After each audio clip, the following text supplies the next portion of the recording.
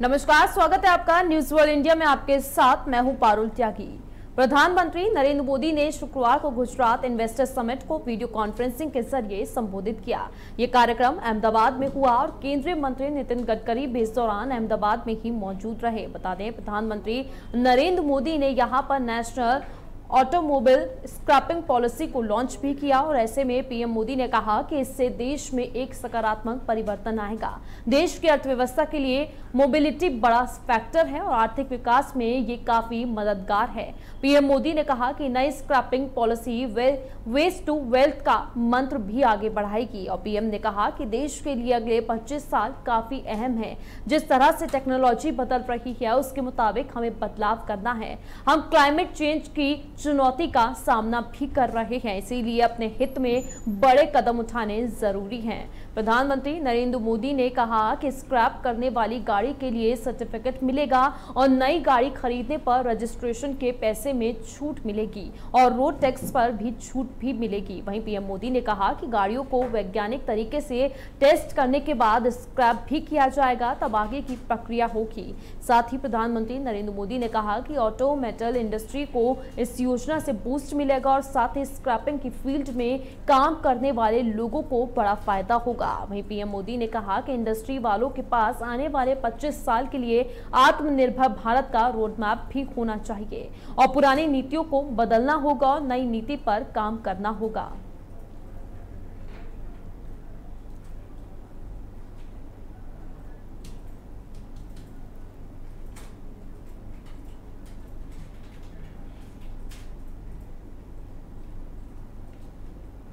अयोध्या में रामलला को एक नई सौगात दी गई है। आपको बता दें कि रामलला को 500 सालों बाद चांदी का 21 किलो का भव्य झूला अर्पित किया गया है। राम जन्मभूमि परिसर में भी रामलला को अब 21 किलो के चांदी के झूले में झूला झुलाया जाएगा। यह विशेष झूला रामलला को समर्पित किया गया है और अब इसी झूले में रामलला श्रावण मास में होने वाले झूलन महोत्सव का आनंद भी लेंगे। ऐसा पहली बार हो रहा है कि रामलला के लिए चांदी का विशेष झूला बनवाया गया है और रामलला रामलला को झूलने के लिए समर्पित किया गया है। मैं बता दें, श्री राम जन्मभूमि तीर्थ क्षेत्र ट्रस्ट के महासचिव चंपत राय ने झूले की फ़ोटो शेयर करते हुए बताया कि इस बार रक्षाबंधन तक रामलला इसी विशेष झूले में झूला झूलेंगे। आपको बता दें कि अयोध्या में हर साल श्रावण शुल्क, शुक्ल तृतीया को झूलन महोत्सव की शुरुआत होती है और ऐसे में अयोध्या के सभी प्रमुख मंदिरों से विग्रह मणि पर्वत तक पालकियों में गाजे बाजे के साथ लोग जाते हैं और वहीं पर झूला भी झूलते हैं। बता दें, मणि पर्वत वही जगह है जहाँ माता सीता झूला झूलने आया करती थी। और इसीलिए हर साल श्रावण शुल्क तृतीया को यहाँ बड़े महोत्सव का आयोजन किया जाता है। और यहाँ भगवान के झूले झूलने के साथ ही पूरे देश में झूलन महोत्सव शुरू हो जाता है। वहीं इस पर्वत पर मंदिरों में झूला झूलने के बाद मंदिरों में झूले पड़ते हैं और भगवान को झूला भी झुलाया जाता है। और वहीं उन्हें सावन के गीत सुनाए जाते हैं और इस बीच हर्षोल्लास का माहौल रहता है, जिसे देखने के लिए लाखों लोग अयोध्या भी पहुँचते हैं।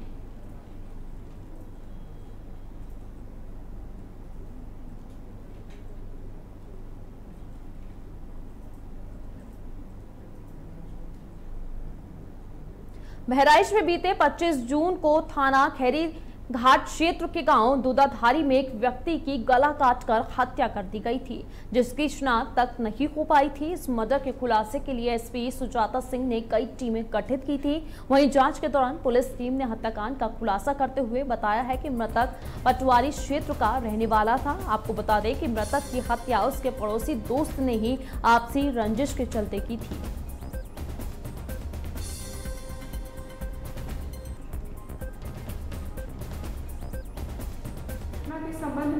क्रमवार तरीके से दो तीन बिंदु प्रकाश में आए, वो मैं आपके समक्ष रखना चाहती हूँ। जो इसमें मृतक है, उसकी पहचान प्रमोद तिवारी, उर्फ़ पुरुषोत्तम तिवारी के रूप में हुई है। ये मिराज और सैयद, ये दो व्यक्ति हैं, उनके संपर्क में आए। और क्योंकि इनकी शादी नहीं हो रही थी तो वो किसी तांत्रिक से अपना इलाज कराना चाहते थे। मिराज और सैयद ने प्रमोद तिवारी का संपर्क ताज मोहम्मद उर्फ़ राजू से कराया। शादी करवाने के एवज में उन्होंने साढ़े चार लाख रुपए फ़ीस की डिमांड की। इन्होंने अपना खेत बेचा प्रमोद तिवारी ने और वो राजू को साढ़े चार लाख रुपए दे दिए।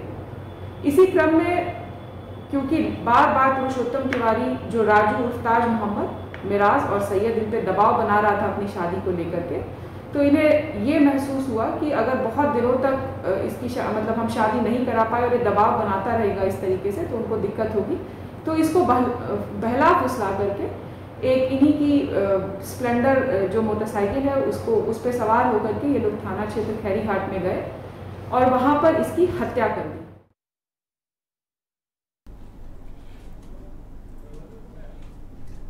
बिजनौर के गौहर अली खां इलाके में दिन दहाड़े पति ने पत्नी की गोली मारकर हत्या कर दी और आरोपी पति मौके से फरार हो गया, जिसके बाद सूचना पर पहुँची पुलिस ने शव को पोस्टमार्टम के लिए भेज दिया है। वहीं पुलिस आरोपी पति की तलाश में जुट गई है। वहीं बता दें, अभी हत्या के कारणों का पता नहीं चल सका है।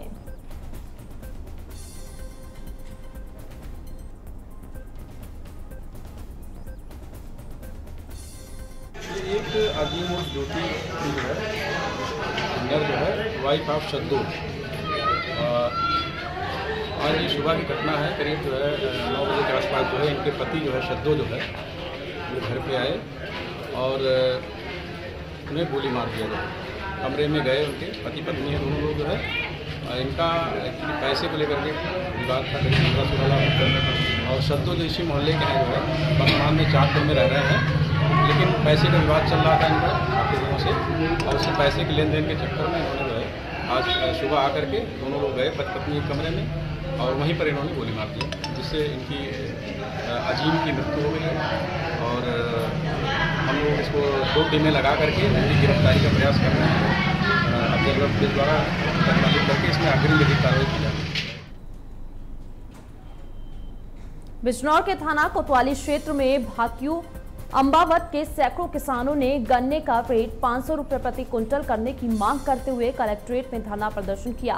वहीं किसानों ने आरोप लगाते हुए कहा कि छह शुगर मिलों पर किसानों का करोड़ों रुपया अभी भी बकाया है, जिसका भुगतान शुगर मिल नहीं कर रही है और न ही कोई सुनवाई हो रही है। इसी के साथ किसानों ने आरोप लगाते हुए कहा कि शिकायत के बावजूद भी बिजली विभाग बिजली के जर्जर तारों को नहीं बदल रही है। वहीं बिजली विभाग को इस लापरवाही के चलते हर साल कई किसान मजदूर बिजली के तारों की चपेट में आ जाते हैं। आपको बता दें कि प्रदर्शन के दौरान सैकड़ों किसानों ने एसडीएम को ज्ञापन भी सौंपा है।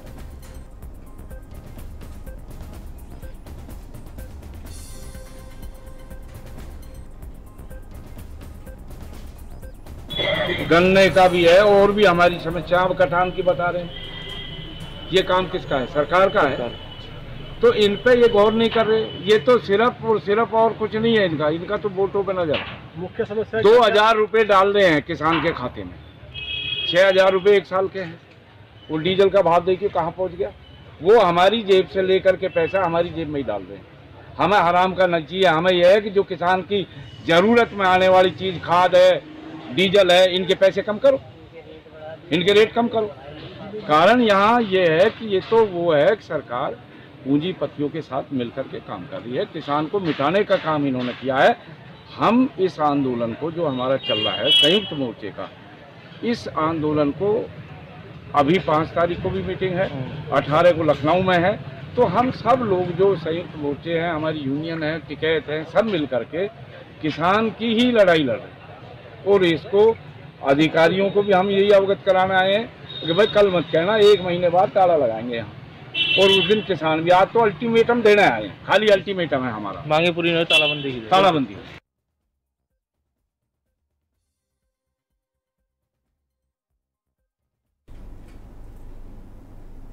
आज पूरे देश में नाग पंचमी का त्योहार मनाया जा रहा है। इसी के चलते कानपुर देहात में भी आज नाग पंचमी का त्योहार बड़े ही हर्षोल्लास और प्राचीन रीति रिवाजों के साथ मनाया गया। यह त्योहार हर साल सावन महीने में पंचमी तिथि को मनाया जाता है। आपको बताते चले कि हिंदू धर्म में पौराणिक काल से ही सांपों को देवता के रूप में पूजा जाता रहा है और नाग पंचमी के दिन नाग पूजन का खास महत्व भी होता है।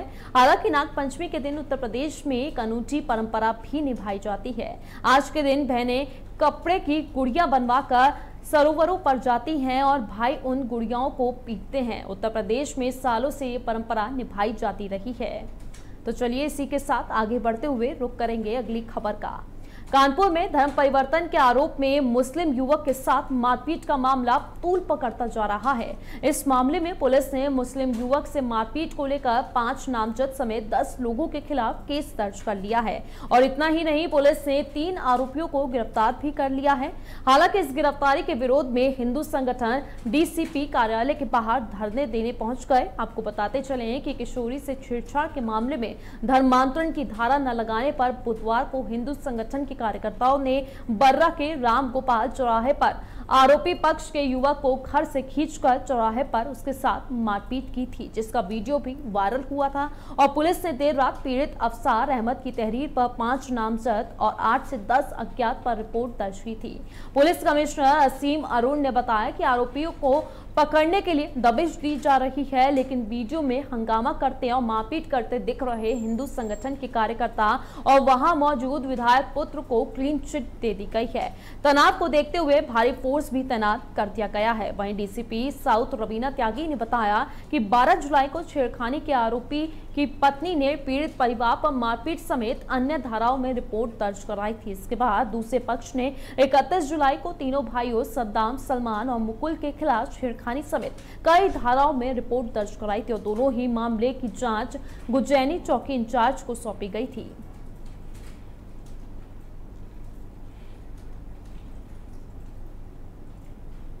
कासगंज के सोरो थाना क्षेत्र में ग्रह कलेश के चलते सोरो कुंज में महिला ने छलांग लगाकर खुदकुशी करने की कोशिश की। मौके पर मौजूद पुलिस की मुस्तैदी के चलते महिला की जान बचा ली गई। आपको बताते चले कि पुलिस ने महिला को गंभीर हालत में इलाज के लिए अस्पताल में भर्ती कराया है।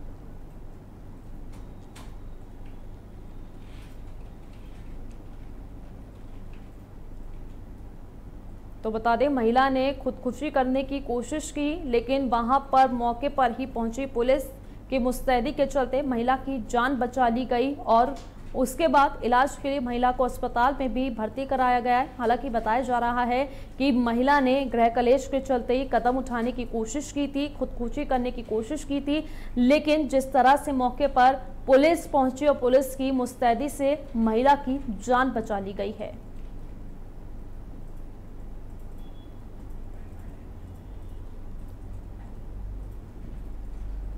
कानपुर देहात के सिकंदरा थाना क्षेत्र के गाँव करीम नगर डेरा में तीन किशोर नहाते समय तालाब में डूब गए। वहीं पुलिस ने ग्रामीणों की मदद से किशोर को सकुशल बचा लिया और गंभीर हालत में इलाज के लिए अस्पताल में भर्ती करा दिया है। वहीं बता दें, दो किशोरों की डूबने से मौत हो गई है। आपको बताते चले कि घटना की सूचना से परिजनों में कोहराम मच गया है। पुलिस ने दोनों शवों को पोस्टमार्टम के लिए भेज दिया है।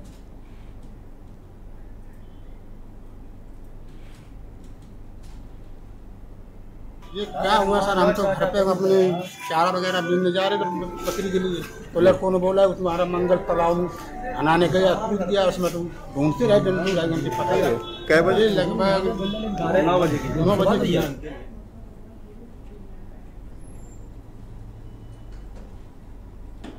कासगंज के गंज डुंडवारा कोतवाली क्षेत्र में पिता को खेत पर खाना देने गई मासूम की सांप के काटने से मौत हो गई है। वहीं सूचना पर पहुँची पुलिस ने शव को पोस्टमार्टम के लिए भेज दिया है। वहीं मासूम की मौत से परिजनों में कोहराम मचा हुआ है। तो बता दें, मासूम खेत पर अपने पिता को खाना देने गई थी, लेकिन रास्ते में एक सांप ने मासूम को काट लिया, जिससे कि उसकी मौत हो गई। वहीं मौके पर जब पुलिस को इसकी सूचना दी गई तो पुलिस मौके पर पहुँची और शव को पोस्टमार्टम के लिए भेज दिया है।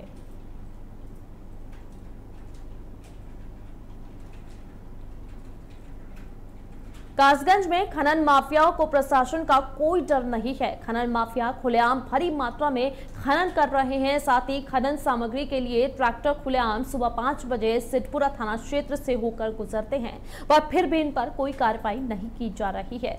गौर करने वाली बात यह है कि दो थानों की सीमाओं से होकर गुजरने के बावजूद न ही ट्रैक्टरों पर कोई कार्रवाई की जा रही है और भी बता दें, इस काले काम को अंजाम देने वाले खनन माफियाओं के खिलाफ कोई कार्रवाई नहीं की जा रही है।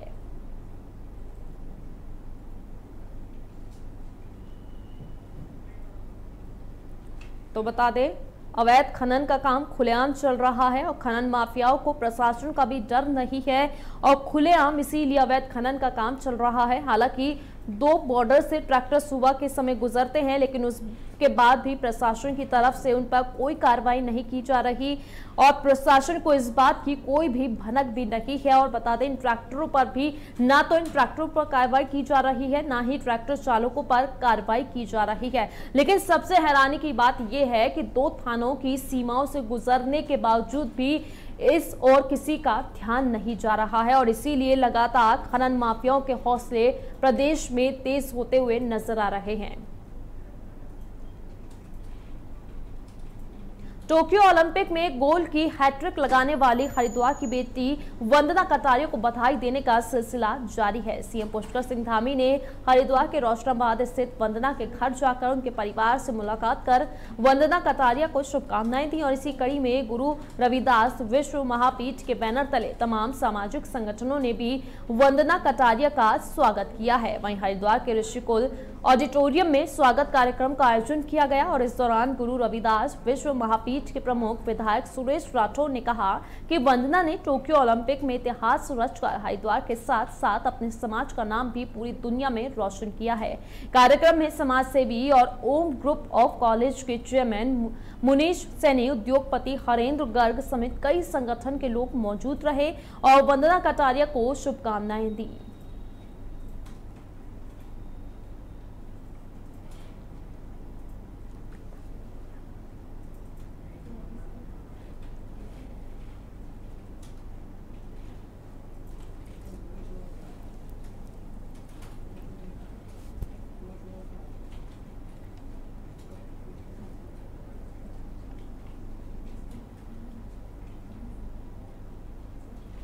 दिया गया। आवास की व्यवस्था के लिए हमने कह दिया। है बंदनाबाद की बिटिया थी आज पूरे देश की बिटिया है।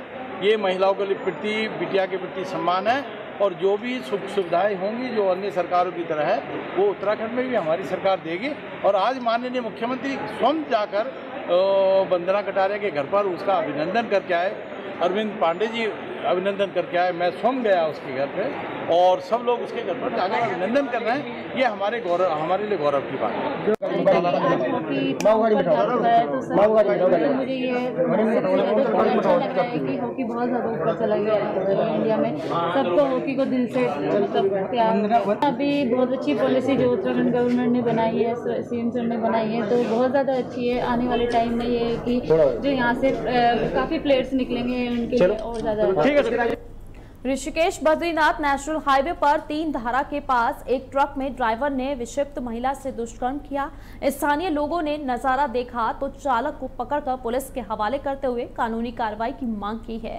वहीं बता दें, पुलिस ने मामले में प्रत्यक्षदर्शियों से पूछताछ के बाद आरोपी ड्राइवर के खिलाफ धारा तीन सौ छिहत्तर के तहत मुकदमा दर्ज कर लिया है। साथ ही ड्राइवर की पहचान राजेश निवासी बुढ़ाना मुजफ्फरनगर, उत्तर प्रदेश के रूप में की गई है। बताया जा रहा है कि ड्राइवर ट्रक में सामान भरकर ऋषिकेश से चमोली जा रहा था। इसी दौरान रास्ते में महिला ने ट्रक को रोककर लिफ्ट मांगी, जिसके बाद ड्राइवर ने दुष्कर्म की वारदात को अंजाम दे दिया।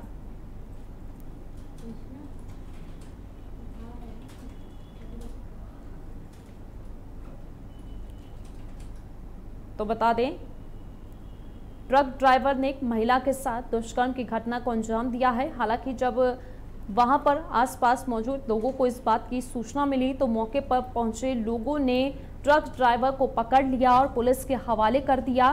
साथ ही बता दें, ट्रक ड्राइवर कुछ सामान भरकर ट्रक में जा रहा था, लेकिन उस दौरान रास्ते में महिला ने ट्रक ड्राइवर से लिफ्ट मांगी और इसका ट्रक ड्राइवर ने इस दौरान ही महिला के साथ दुष्कर्म की घटना को अंजाम दिया, जिसके बाद स्थानीय लोगों ने इसकी सूचना पुलिस को दे दी और साथ ही ट्रक ड्राइवर को पकड़कर पुलिस के हवाले भी कर दिया।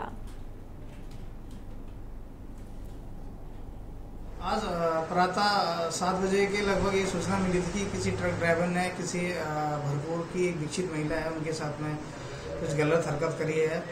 तो सूचना पर हम लोग भी गए मौके पे तो स्थानीय लोगों ने उसको पकड़ भी लगा, पकड़ लिया था, उसके साथ दो व्यक्ति थे, लेकिन वो लोग नीचे ही थे। तो लोगों में रोष व्याप्त था उन्होंने उनके साथ में हाथापाई भी की, उनके साथ में कि भाई आपने गलत काम किया है। इस संबंध में जाँच की गई तो पता चला कि ट्रक जो है कोयलता लेकर के दिल्ली से चमोली की तरफ़ जा रहा था। और, इन्होंने भरपूर में किसी विकसित महिला है जिन्होंने उनको हाथ दिया और उन्होंने रोका उसको बिठाया गाड़ी में। तो नीयत कुछ गलत थी इस प्रकार की। तो स्थानीय लोगों ने देखा। तो इस समय उसके पिताजी ने थाने पे एक तहरीर दी है इसमें दोनों पंजीत कर दिया गया है और उसकी जाँच जारी है। विवेचना प्रचलित है और आगे की कार्रवाई की जाएगी। फ़िलहाल वो पुलिस की गिरफ़्तार है। उत्तराखंड के मुख्यमंत्री पुष्कर सिंह धामी ने भारतीय महिला हॉकी खिलाड़ी वंदना कटारिया के रोशनाबाद, हरिद्वार स्थित आवास पर जाकर टोक्यो ओलंपिक में वंदना के शानदार प्रदर्शन पर उन्हें बधाई दी है। बता दें, मुख्यमंत्री पुष्कर सिंह धामी ने वंदना कटारिया को 25 लाख रुपए का चेक भी दिया और इस अवसर पर मुख्यमंत्री ने वंदना कटारिया को तिलू रौतेली पुरस्कार से भी सम्मानित किया है। इसके तहत उन्हें इकतीस हज़ार रुपए का चेक और प्रशस्त पत्र भी दिया गया है। वहीं वंदना कटारिया को महिला सशक्तिकरण के तहत बेटी बचाओ, बेटी पढ़ाओ अभियान का ब्रांड एम्बेसडर भी बनाया गया है। वहीं मुख्यमंत्री पुष्कर सिंह धामी ने कहा कि वंदना कटारिया ने टोक्यो ओलंपिक में अपने शानदार प्रदर्शन से प्रदेश का मान सम्मान बढ़ाया है। उत्तराखंड की बेटी ने एक मैच में ही हैट्रिक बनाकर अपनी एक अलग पहचान बना ली है। उन्होंने वंदना को आगे भी इसी मनोबल से खेलने के लिए प्रेरित किया। वहीं खिलाड़ियों को ज़्यादा से ज़्यादा सुविधाएँ मिल सकें। इसके लिए राज्य में नई खेल नीति बनाई जा रही है। उन्होंने वंदना कटारिया के उज्जवल भविष्य की कामना भी की है।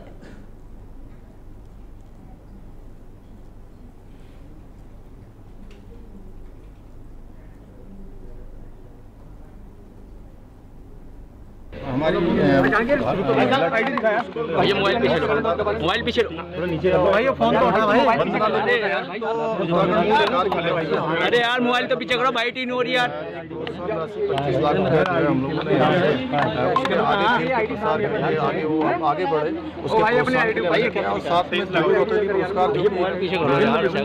अलग अलग जो उनको दिया जाता है हम लोगों सो मोटो अपने और साथ में ब्रांड एम्बेसडर भी बेटी पढ़ाओ और बेटी बचाओ का बढ़ाया है, जिससे कि वो वंदना हमारे यहाँ की ऐसी बच्चियाँ जो समाज के बहुत दूरस्थ क्षेत्रों में रहती हैं, बहुत अभाव में रहती हैं, बहुत कमी में रहती हैं, उनके लिए एक प्रेरणा का स्रोत बनेगी और अपने अपने साथ साथ सभी को आगे बढ़ाने के लिए काम करेगी। मतलब इतने बिज़ी टाइम से निकाल के वो यहाँ पे आए, उनका मैं बहुत बहुत दिल से धन्यवाद देना चाहती हूँ कि जो मतलब मैं चाहती थी कि मुझे वो मान सम्मान मिले, उन्होंने बहुत अच्छे से मेरा मान सम्मान किया है तो उनके लिए मैं दिल से धन्यवाद देना चाहती हूँ। ऋषिकेश में विस्थापित कॉलोनी के पास गंगा किनारे संदिग्ध परिस्थितियों में एक बच्चे का शव मिला है। बच्चे के गले में रस्सी भी बंधी हुई मिली, जिससे उसके हत्या की आशंका भी जताई जा रही है। वहीं पुलिस ने शव को गंगा से बाहर निकालकर फ़िलहाल एम्स में मोर्चरी में सुरक्षित रख दिया है और बच्चे की शिनाख्त के प्रयास किए जा रहे हैं। वहीं पुलिस ने आसपास के सभी थाना क्षेत्रों में भी मिले बच्चे के शव की जानकारी भेज दी है और पुलिस के अनुसार संभवतः बच्चा गंगा के बहाव में कहीं दूर से बहकर ऋषिकेश पहुँचा है, लेकिन गले में बंधी हुई रस्सी का माजरा फ़िलहाल अभी अनसुलझा है। वहीं पुलिस का कहना है कि पोस्टमार्टम रिपोर्ट आने के बाद ही बच्चे की मौत के साफ़ कारण का पता चल जाएगा। वहीं एहतियात के तौर पर पुलिस बच्चे का डीएनए टेस्ट भी सुरक्षित रख रही है।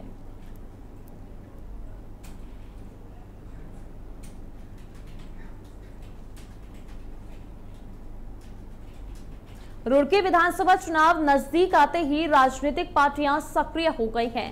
एक दूसरे पर आरोप प्रत्यारोप के दौर भी अब शुरू हो गए हैं। ऐसे में कांग्रेस सत्ता पाने के लिए बीजेपी सरकार को आड़े हाथों लेकर बीजेपी के विफलताओं का बखान कर रही है। तो वहीं बीजेपी सत्ता में बने रहने के लिए अपनी उपलब्धियाँ गिनाने में लगी हुई है। ताज़ा मामला मैंगलोर विधानसभा का है, जहाँ कांग्रेसी कार्यकर्ताओं ने एक अनोखे प्रदर्शन के ज़रिए बीजेपी पर हमला बोला है। दरअसल कांग्रेसियों ने 58 पर दूरबीन के ज़रिए हरिद्वार सांसद की तलाश की और लापता को ढूँढने वाले को एक कुंटल लड्डू देने वाले बैनर लिखकर विरोध प्रदर्शन किया और इस दौरान कांग्रेसियों ने बीजेपी की नीतियों पर भी जमकर हमला बोला।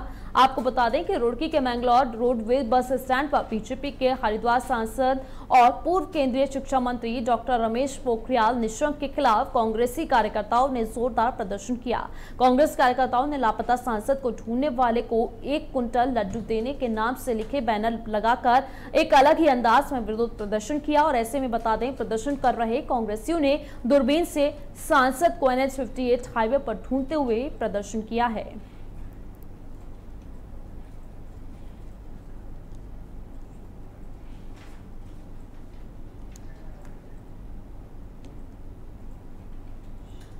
इस बुलेटिन में फ़िलहाल के लिए इतना ही। आप देखते रहिए न्यूज़ वर्ल्ड इंडिया।